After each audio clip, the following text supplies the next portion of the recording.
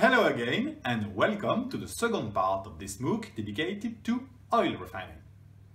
This second part focuses on the primary separation of the crude oil and gasoline production. Do you remember this experiment we made together when we heated up some crude oil? Well, the first stage of oil refining consists in reproducing this experiment, but this time at industrial scale.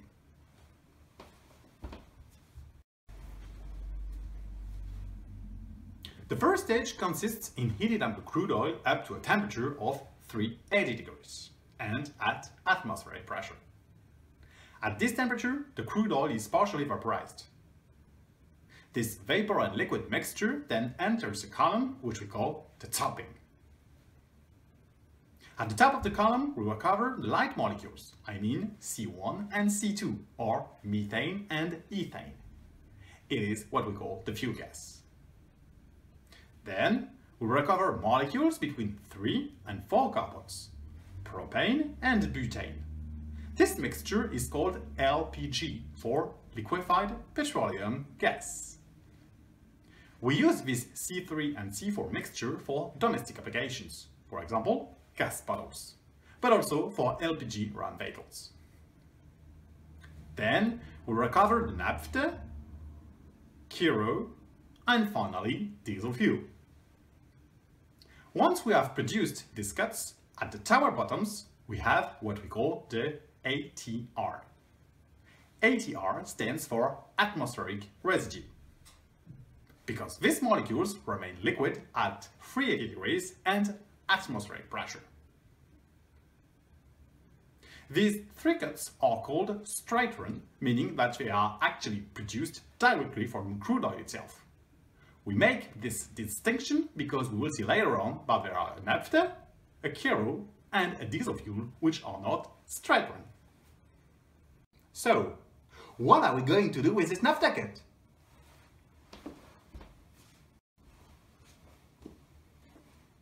Remember, the naphtha contains molecules with a number of carbon atoms ranging from 4 to 10. These molecules always can be classified as N-paraffins, isoparaffins, but also naphthenes and aromatics. These molecules are routed to a petrochemical plant to produce intermediates necessary to manufacture plastics.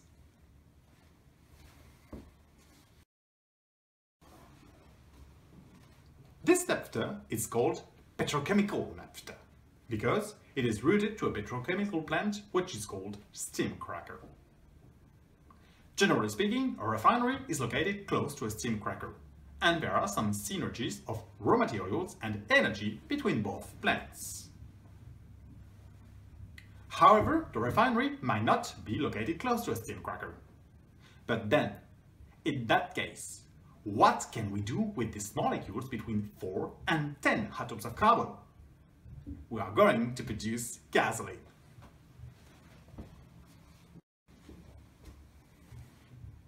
I propose you now to see the way how to elaborate gasoline from naphtha.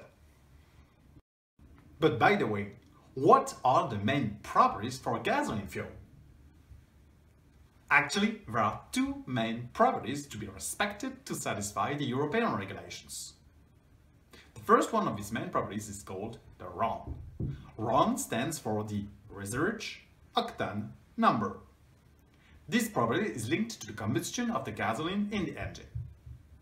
The regulation imposes the RON to be above 95 or 98 in Europe. It is this figure which you can find in gas stations. The octane rating characterizes the resistance to the knock phenomenon in a gasoline engine. But what is knock phenomenon? Before speaking about the knock phenomenon, as a reminder, gasoline engine is actually the place where the mixture air plus gasoline burns thanks to a spark or a source of ignition. Imagine that a mixture air plus gasoline enters the engine. With a source of ignition, the mixture burns and produces some energy. But it turns out that certain molecules may burn by themselves before the source of ignition takes place. Thus, in the engine, there are two sets of combustion. The first one is due to the fact that some molecules auto-ignite, and the second one in the presence of the source of ignition. These two phenomena, not occurring at the same time, causes the phenomenon of knock, which is characterized by a very specific noise. This knock weakens the engine and can even break it. To avoid this phenomenon, engine manufacturers ask the octane rating of the gasoline to be higher than a certain value, typically 95 or 98. But which molecules have a high octane rating and which ones have a low one? The scientists observed that the N-heptane, the C7 linear paraffin, presents a high tendency to auto-ignition phenomenon. So, the scientists conferred him the value of 0. On the other hand, the 2,2,4-trimethylpentane, also called isooctane, presents a very high resistance to auto-ignition. So, the scientists conferred him the value of 100. With these two extreme values, we can define a scale. This scale makes it possible to characterize the auto-ignition tendency of any molecules or mixture of molecules. Indeed, a molecule which has a RON of 50 would have the same behavior regarding combustion as a mixture of 50% of N-heptane and 50% of isooctane. Now that you are familiar with RON issues, here is a second main property asked to the refiner. We impose the sulfur content in gasoline fuel to be lower than 10 ppm. This constraint is essential due to environmental issues to avoid the massive rejections of sulfur from vehicles.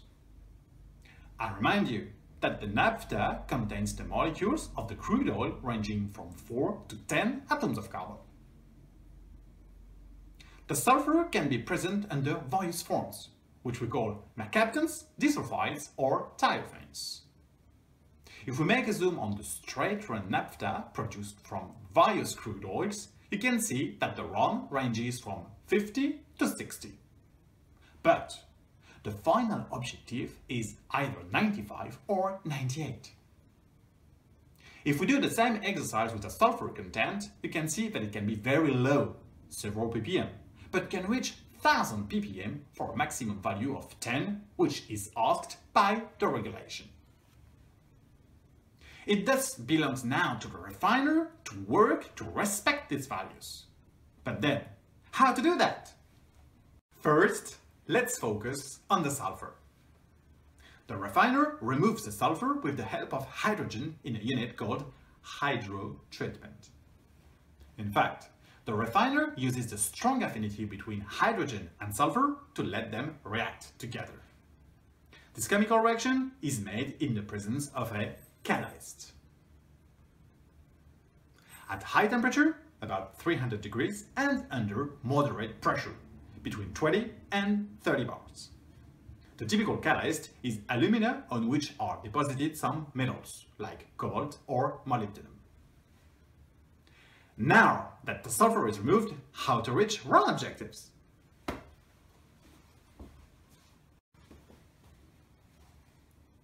As far as octane is concerned, let's return to the mapping of the molecules present in the naphtha.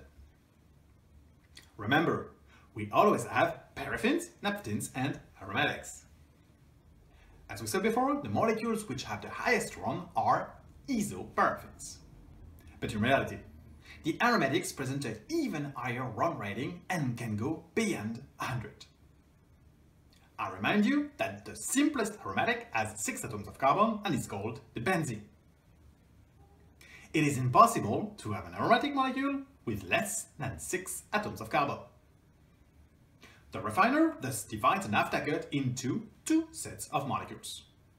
The first set of molecules with less than 6 atoms of carbon unable to produce aromatics will be called the light naphtha.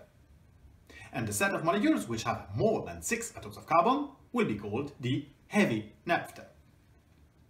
Then, the refiner will let paraffins and naphthenes react to transform them into aromatics. You can see that for naphthenes it will be much more easier to form aromatics because the cyclic structure is already part of the molecules, unlike paraffins.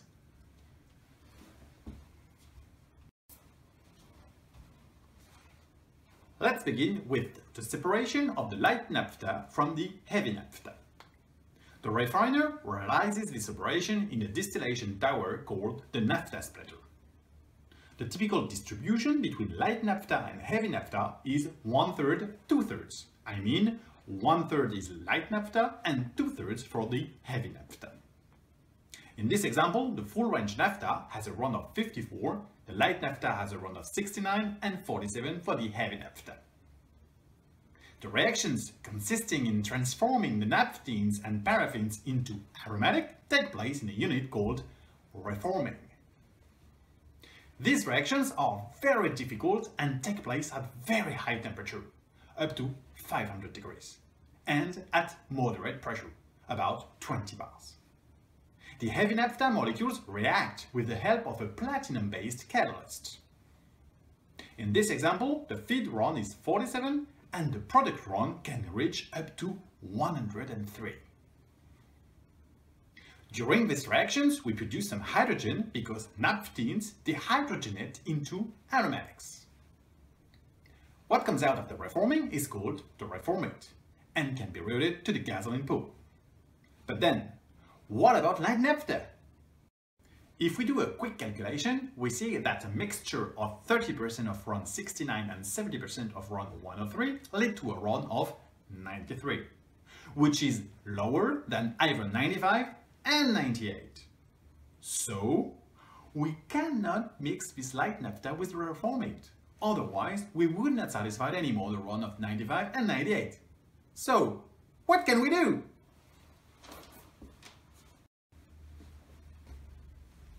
Let's return to molecules distribution in the naphtha. This time, no miracle is to be expected, because it's the isoparaffins which present the highest RON rating. The refiner needs to transform N paraffins into isoparaffins.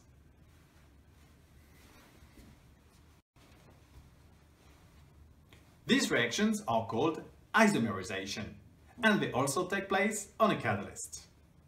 Isomerization can boost RON by about 20 points.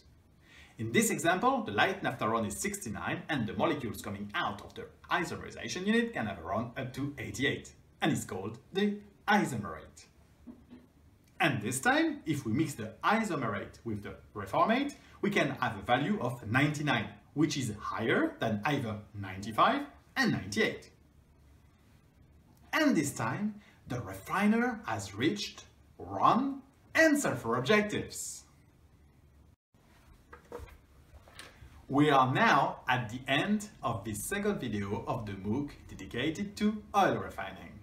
Do not forget to test your knowledges on refiningIsExciting.com website. See you very soon on the third video of this MOOC. Bye bye and thank you for your attention.